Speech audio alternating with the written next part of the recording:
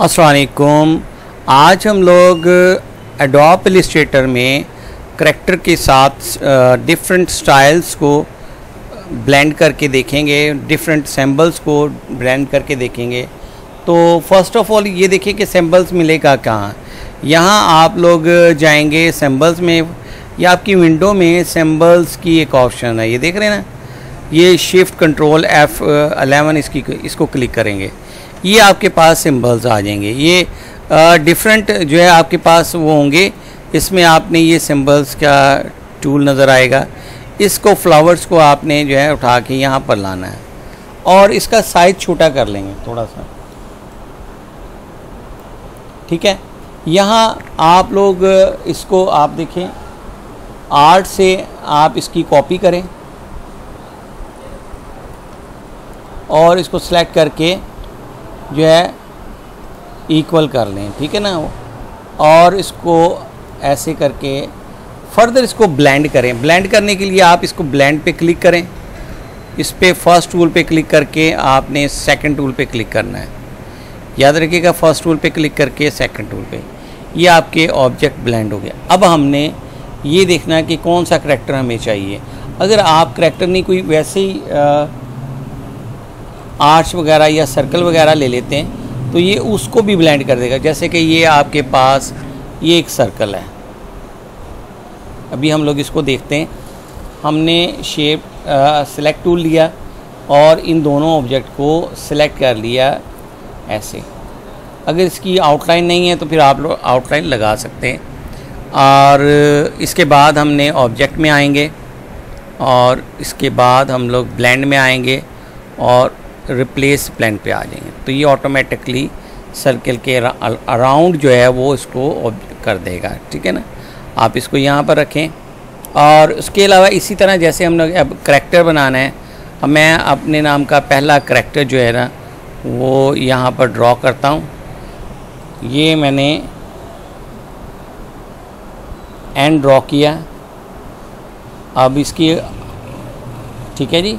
और उसके बाद यहाँ पर हम लोग सिलेक्शन टूल में आएँगे। सिलेक्शन टूल से आप इसको सिलेक्ट करें और फिर उसके बाद इसको सिलेक्ट इसको सिलेक्ट करें। ठीक है? या दोनों को या आप लोग ऐसे सिलेक्ट कर लें इन दोनों को सिलेक्ट करना है, जिन जिन को आपने आपस में ब्लेंड करके स्टाइल बनाना है। अब हमने क्या करना है कि ये देखें, इसमें हम लोग ब्लेंड टूल में जाएँगे।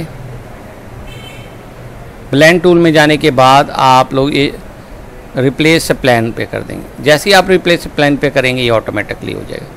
इसमें एक चीज़ देखें कि अगर ये हमें ये इसकी जो स्टेप कम लग रहे हैं, अब मैं यहाँ पर ऑब्जेक्ट में आऊँगा ब्लेंड टूल पे आके जो है ब्लेंड टूल की ऑप्शन पे ब्लेंड टूल ऑप्शन ये याद रखिएगा, इस पर क्लिक करेंगे। यहाँ स्मूथ कलर लिखा होगा आपने स्पेसिफाई स्टेप इसको थोड़ा सा उठाकर हम लोग ऊपर ले आते हैं। और यहाँ पर आपने स्टेप देख रहे हैं। अच्छा अगर आप यहाँ लिखते हैं, आप कहते हैं ट्वेंटी फाइव तो और उसके बाद आप इस पर क्लिक करते हैं तो ट्वेंटी फाइव अदरवाइज़ इस बॉक्स में क्लिक करके जैसे ही माउस को मैं स्क्रॉल करता हूँ, आप ये देख रहे हैं? जैसे ही माउस को स्क्रॉल आपकी तरफ़, उसकी तादाद बढ़ती है और कम होती जा रही है। ये बड़ा ज़बरदस्त किस्म का जो है, वो है आ, तो आप इसमें इस तरह जो है वो आप लोग इसको अपने नेम को स्टाइलिश कर सकते हैं। कोई भी अच्छा सा ब्लेंड या स्टाइल या सिंबल डिज़ाइन करके आप अपने नेम के ऊपर उसको अप्लाई कर सकते हैं। आ, मसलन हम लोग ये देखें इसको साइड पे करके। हमने इसको आ, जो है वो फिर एक बार या इसको मूव करें।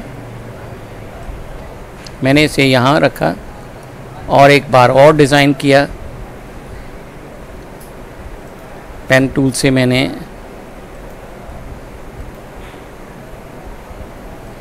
कुछ भी आप डिज़ाइन कर सकते हैं। ये आप भी आपकी एबिलिटी पे है, आपके उस पर है, डिमांड पे है। और फिर उसके बाद मैंने ये स्टाइल टूल ले लिया। ये देख रहे ना, एक और सिंबल्स है। इसको हम लोग, इसको ले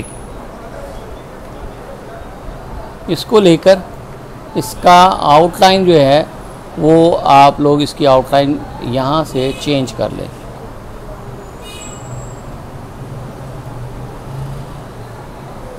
ठीक है जी? अब इसको आर्ट से सिलेक्ट करें और यहाँ पर आ जाए। इन दोनों का साइज़ पहले तो आप इसको इक्वल करें इन दोनों को। और उसके बाद साइज़ रिड्यूस कर लें। लेकिन शिफ्ट की नहीं प्रेस करना शिफ्ट की प्रेस करना नहीं भूलना आपने, ताकि वो एक ही उसमें हो। ठीक है? अब आप इस दोनों को जो है यहाँ से ब्लेंड कर लें।